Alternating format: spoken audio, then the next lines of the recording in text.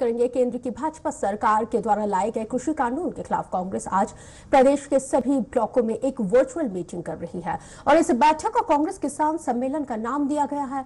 छत्तीसगढ़ स्तरीय वर्चुअल किसान सम्मेलन में प्रदेश कांग्रेस कार्यालय राजीव भवन, रायपुर से एआईसीसी के छत्तीसगढ़ प्रभारी पीएल पुनिया, मुख्यमंत्री भूपेश बघेल और प्रदेश कांग्रेस अध्यक्ष मोहन मरकाम और प्रदेश के तमाम वरिष्ठ नेता शामिल हो रहे हैं।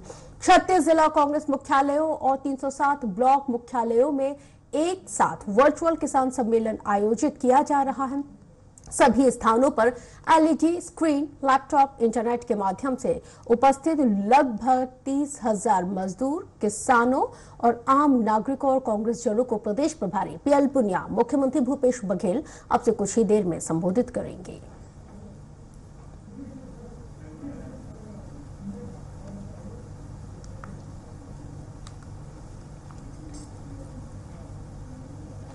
जो तीन काले कानून किसानों के लिए बनाए हैं, वो किस तरह से किसानों के लिए हानिकारक है, किस तरह से किसानों के लिए घातक है, उसके बारे में भी जन जन तक संदेश पहुँचना चाहिए। वो पहुँचाने का काम करेंगे और भारतीय जनता पार्टी की असली पोल खुलेगी कि वो कभी भी किसानों के हित में नहीं रही। तो कांग्रेस के इस वर्चुअल सम्मेलन को लेकर बीजेपी का क्या कुछ कहना है? आइए सुनते हैं।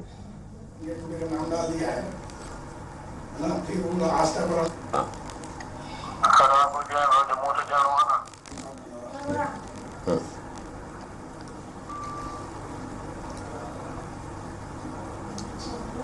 पीएल पुनिया का बयान आया है कि बीजेपी को किस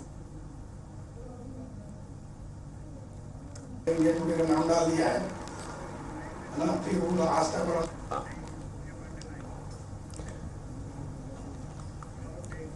और इसी खबर पर ज़्यादा जानकारी के साथ राजधानी रायपुर से सहयोगी सुप्रिया पांडे हमारे साथ लाइव जुड़ गए हैं, जिनके साथ चर्चा करेंगे और चर्चा की शुरुआत। सुप्रिया, जिस तरह से कांग्रेस की एक किसान वर्चुअल सम्मेलन आयोजित किया जा रहा है, तीस हज़ार से ज़्यादा लोगों के शामिल होने की का ज़िक्र किया गया है। क्या तैयारी और अभी किस तरह का माहौल वहाँ पे देखने को मिल रहा है? जी बिल्कुल किसान सम्मेलन का जो आयोजन है वो आज किया जा रहा है। ये आयोजन जो है वो वर्चुअल माध्यम से होगी ताकि ज़्यादा से ज़्यादा लोगों को इस माध्यम से जोड़ा जा सके। बता दें कि इस माध्यम से जो है तीस हज़ार किसान इस माध्यम से जुड़ेंगे और साथ ही इसमें प्रदेश प्रभारी पीएल पुनिया मुख्यमंत्री भूपेश बघेल प्रदेश अध्यक्ष मोहन मरकाम जो है वो संबोधित करेंगे और कृषि कानून को लेकर अन्य राज्यों में विरोध के साथ ही छत्तीसगढ़ में भी विरोध का सिलसिला लगातार जारी है। कांग्रेस चरणबद्ध तरीके से विरोध कर रही है। इसी विरोध के सिलसिले में जो है ऑनलाइन वर्चुअल जो विरोध है, वो शुरू किया जा रहा है। अब जो है सोशल मीडिया के माध्यम से इंटरनेट के माध्यम से किसानों को ये बात पहुँचाया जाएगा कि कृषि बिल जो बना है जो कृषि कानून नया बना है वो किस तरीके से यहाँ पर जो है किसानों को नुकसान पहुंचाएगा किस तरह से किसानों के लिए हानिकारक है और इस कानून के माध्यम से क्या कुछ जो है प्रावधान है वो सभी बातें किसानों को बताई जाएगी और किसानों को अपने समर्थन में जो है कांग्रेस लाना चाहती है किसानों के साथ प्रदर्शन भी करेगी इसके साथ यहाँ पर बड़ा सवाल ये भी है क्योंकि किसानों को को ही साथ कर प्रदेश में भूपेश सरकार आई कांग्रेस की सरकार बनी और उसके बाद जिस तरह से किसान हितैषी फैसले लिए गए हैं सरकार के द्वारा। तो वो सबके सामने है जो कई फैसले ऐसे जो नजीर भी पेश कर, किए हैं। जिस तरह से केंद्र सरकार के द्वारा जो कृषि कानून लाया गया है, उसके खिलाफ ये पूरा प्रदर्शन किया जा रहा है। दो दिन पहले भूपेश कैबिनेट की बैठक होती है। उस कैबिनेट में एक बड़ा फैसला लिया जाता है कि प्रदेश का कृषि कानून अलग से बनेगा। उसको लेके हमारी बातचीत भी कृषि मंत्री रविंद्र चौबे से भी होती है। तो क्या वाकई में जिस तरह से जो नजीर पेश करने की कोशिश है छत्तीसगढ़ और छत्तीसगढ़ सरकार के द्वारा की जा रही है, क्या लोग उससे इन्फ्लुएंस हो रहे हैं?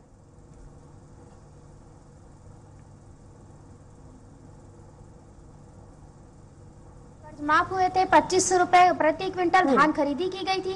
इसी वजह से जब भूपेश सरकार किसान हित ऐसी फैसले फैसले ले रही है और लगातार किसानों के हित में ही फैसले ले रही है। केंद्र सरकार के द्वारा जो कृषि कानून है उसे छत्तीसगढ़ में लागू नहीं किए जाने की भी कवायद शुरू हो गई है। और अब छत्तीसगढ़ में नया किसान कृषि कानून जो है वो बनाने की जो चर्चाएँ हैं वो भी तेज हो गई है जिसके लिए विधानसभा का विशेष सत्र भी बुलाया जा सकता है और कृषि कानून है उसे भी नया रूप दिया जा सकता है। छत्तीसगढ़ में नया कृषि कानून बनाया जाएगा। जिसे लेकर के चर्चाएँ भी तेज हो गई। है विशेषज्ञों से परामर्श लिया जाएगा। एआईसीसी से चर्चा की जाएगी। उसके बाद ही छत्तीसगढ़ में कृषि कानून बनाया जाएगा। इसके साथ ही आज जो प्रदर्शन है वो किसानों के लिए है। भूपेश सरकार ज़्यादा से ज़्यादा किसानों को अपने पक्ष में लेना चाहती है ताकि उनके साथ जल्द से जल्द जो है वो हस्ताक्षर करवाए और दिल्ली भी कुछ करने वाले हैं कांग्रेस जन। तो इसी तरीके से यहाँ पर रणनीति बताई जा रही है कि किस तरीके से यहाँ पर कृषि कानून को लेकर के जितने ज़्यादा संख्या में किसान जो है वो इनके समर्थन में आए कृषि कानून जो है उसको लेकर के लगातार छत्तीसगढ़ में विरोध चल रहा है। पिछले दिनों जो है प्रदेश सरकार जो विरोध किया था उन्होंने उसके साथ ही उन्होंने राज्यपाल को ज्ञापन भी सौंपा था राष्ट्रपति के नाम। तो तमाम जो बातें हैं वो भी सामने आ रही है और ये इसी वजह से यहाँ पर अच्छा बीजेपी भी क्रेडिट लेना चाहती है। बीजेपी कह रही है जो केंद्र सरकार ने जो कृषि कानून बिल को पास किया है उससे भ्रमित किया जा रहा है। जो कांग्रेस है वो माहौल बना रही है कि ये जो केंद्र केंद्र सरकार का जो कृषि कानून है वो गलत है, बल्कि उससे फ़ायदा ही किसानों को होगा, इस तरह का कहना है। और अब जिस तरह से ये जो वर्चुअल सम्मेलन कांग्रेस की तरफ़ से आयोजित किया जा रहा है, इसको लेके अब बीजेपी ने भी मोर्चा खोल दिया है। जी बिल्कुल बीजेपी भी लगातार इस पर विरोध कर रही है और बीजेपी का कहना है कि प्रदेश की जो कांग्रेस सरकार है वो लगातार जनता के बीच में भ्रम फैलाने का काम कर रही है। कृषि कानून का ऐसा कोई एक लाइन बता दे जिसमें ये लिखा हो कि वो किसान के विरोधी है। कांग्रेस ये आरोप लगाती है कि एमएसपी खत्म हो जाएगा न्यूनतम समर्थन मूल्य खत्म हो जाएगा। ऐसा कुछ भी नहीं होगा मंडिया खत्म हो जाएगी ऐसा कांग्रेस के द्वारा आरोप लगाया जाता है जिसे बीजेपी सिरे से खारिज करते हुए कहती है कि ऐसा कुछ भी नहीं होने वाला है। किसानों को बिचौलियों से बचाने के लिए कृषि कानून लागू किया गया है और इसमें जो है कांग्रेस पूरे देश भर में जो है धरना प्रदर्शन करके जो भ्रम फैला रही है ऐसा भ्रम की स्थिति बिल्कुल भी नहीं है। किसानों के हित हितैषी है मोदी सरकार इसलिए ये कानून जो है वो लागू किया गया। इस तमाम बातें जो है जो छत्तीसगढ़ की बीजेपी करती आ रही है और प्रदेश सरकार के द्वारा जो धरना दिया जा रहा है। जवाब दीजिएगा सुप्रिया की पीसीसी चीफ मोहन मरकाम और प्रदेश प्रभारी पीएल पुनिया और साथ ही प्रदेश के मुखिया भूपेश बघेल भी संबोधित करने वाले कितना वक्त बताया जाता है? कितनी देर में इनका संबोधन होगा। अभी थोड़ी देर में इनका संबोधन जो है वो शुरू हो जाएगा और संबोधन में ये जो है किसानों को लेकर के संबोधन करेंगे और कृषि कानून के बारे में जो ऐसे भी किसान है जो कृषि कानून के बारे में नहीं जानते हैं ये भी नहीं जानते कि केंद्र के द्वारा ये कृषि कानून लागू किया गया है उन हाँ। किसानों तक भी भूपेश सरकार अपनी बात पहुंचाएगी और उनसे ये कहा जाएगा कि किस तरीके से ये कानून जो है वो उनके लिए नुकसानदायक है और किस तरह से इन कानून में जो संशोधन किया गया किस तरह से ये कानून बनाए ये तमाम बातें जो है मुख्यमंत्री भूपेश बघेल के द्वारा की जाएगी इसके साथ ही प्रदेश प्रभारी पीएल पुनिया के द्वारा भी की जाएगी क्योंकि भूपेश सरकार जो है छत्तीसगढ़ में हमेशा किसानों के हित में ही फैसले लेते हुए आ रहे धान खरीदी जो है पच्चीस सौ रूपए प्रति क्विंटल में की किसानों के ज़रिए कौन किसका हित साध रहा है? केंद्र सरकार साधने की कोशिश कर रही है प्रदेश सरकार साधने की कोशिश कर रही है। ये भी आने वाले समय में पता चल जाएगा। बहरहाल अब तक की जानकारी के लिए आपका बहुत शुक्रिया।